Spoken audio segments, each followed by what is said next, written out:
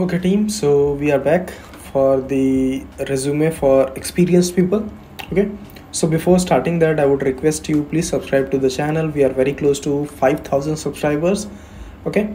And I would also I would request you to check out the playlist where I have a very interesting playlist which is 30 days of DevOps where we are covering DevSecOps plus Cloud DevOps from scratch. Okay so every single video you will find there and you can watch it. Also the documentation also i have created which you can find in my repositories.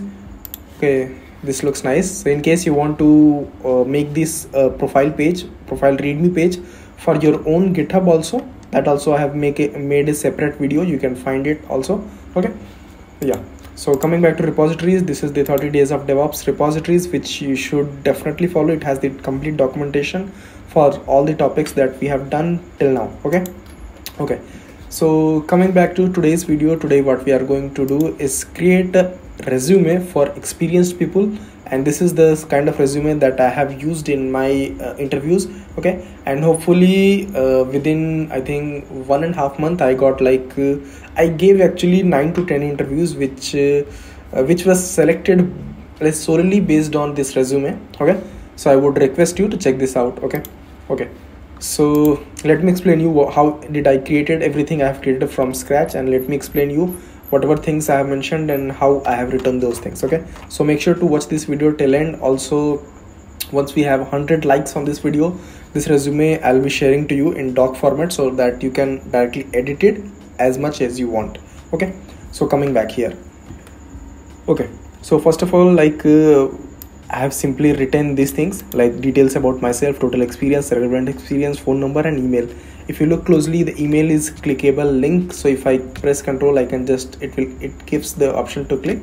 Okay, so that is a good feature. Secondly, whatever certifications you have done, obviously, if you are experienced person, recruiter is going to look for certifications because at this point of time, cloud certification is becoming mandatory as we move on. Okay so for freshers it's like AZ-900 is mandatory? But for experienced at least uh, three or two or three certifications you should have. For example uh, i have four years of experience and total certification i completed is four okay? Azure fundamentals azure administrator associate azure devops engineer and azure solutions architect okay? So this many i have collected and these if you are meant like putting your certifications in this format it is going to be really really uh, making sure that your resume stands out okay? And that is the thing that is going to get you hired anywhere you go okay? Okay coming back to professional summary. So in professional summary what you can write basically do not write like too many multiple lines so that uh, because obviously uh, recruiter is not going to read every single thing okay? So three lines is i think is more than enough at this point okay? So you can see i have written an accomplished and result oriented professional with 3 plus years of experience in it I should change this to 4 at this point okay? So in IT industry and, you can just mention like I was working CI/CD deployments I have done deployments to multiple environments okay? So those things you can mention here okay? Coming back to technical skills I have always said and still I am saying make sure that you are mentioning your technical skills in the format of tabular form okay? Because it makes it much and much easier to view all these skills and mm, gives you an advantage keep from these skill sets only recruiter will ask questions okay? So if you have prepared uh, like properly then it will be really beneficial for you to like answer from these skill sets okay? And obviously you can even you can see that how how neat and clean this looks. All the skills are like clearly visible okay? These are basically my skills okay? And in my new course that is coming in august i will be making sure that you also have these complete skill sets okay? Okay. Coming back to uh, this uh, work experience okay so in my previous like uh, three or four years period whatever i did so i mentioned the general work what i used to do okay?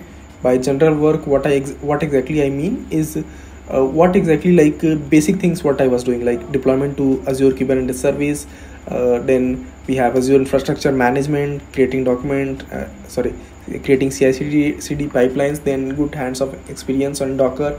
So those things whatever you have you can just write okay also just do not do not like write too much. At this point i feel bad because i have written so many things okay? Because recruiter is not going to read every single thing okay?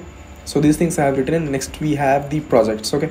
Projects is the most important part because recruiter will be first looking at the project because they want to know that you have actually worked in a specific project okay? So name i have changed at this point okay? So here you can see even this i have put in tabular form because as i said this makes it very easy for the recruiter to understand and figure out what exactly the the uh, uh, guy was doing in the project okay? So first you can like create project one name of the project organization then tools and technology used then roles okay? In responsibilities i have mentioned what exactly i was doing in that specific project okay? So these things you can see if you want you can take a screenshot okay? Next we have project 2 so this was the cloud project which i was working with so in here also i have like mentioned whatever tools and technology i used what was my role and what exactly i was doing okay? So if you look closely first thing i focused on writing as ci-cd pipelines okay? Because because this is something this is ci-cd pipeline is the backbone of uh, uh, devops. So if you are going for interviews the first thing that you should mention ci-cd pipeline because this this gives you an advantage key recruiter will ask from that okay? And that is going to be really beneficial for for you okay then i have mentioned deployment to aks azure infrastructure management using maven for building projects and those things okay? So you can see like it's not too much but i have mentioned the most important task that i was doing in that specific cloud project okay? But again when it comes to you you can mention in whatever way you like okay? I i believe that mentioning uh, projects in tabular form is much easier for the recruiter to like read what exactly you are doing okay? And it makes a good impact okay but here inside this section responsibilities you can write in whatever way you want. You can put bullet points you can put numbers and you can put direct write in paragraph also. It's okay. It's uh, so like completely uh, like on your mind in what way you want to write okay? Coming to length c again we have like for example in case you have worked in multiple projects since i just mentioned uh, two or three projects okay? If you have worked in multiple projects you can mention all those three okay and you can mention properly. In but my suggestion i am like literally telling you again key making things in tabular form it makes it much easier for everyone to see and understand. Okay? Then i have certifications and awards. So at the point when i was giving interviews i had just three certifications. The architect certification i recently completed so i have not mentioned it here. But make sure that certifications plus awards you are mentioning. Okay if you have you're experienced person you might definitely gotten some award in your company. Even if you have not gotten i would suggest to write something like this so that it leaves a good impact okay this guy was getting awards and because nobody is going to verify if you are getting awards or not okay. So you can just write something for example I, see these two i actually got i'm i'm not faking it. So these two i actually got okay. And so you but but my suggestion definitely write something because it leaves a good impact okay.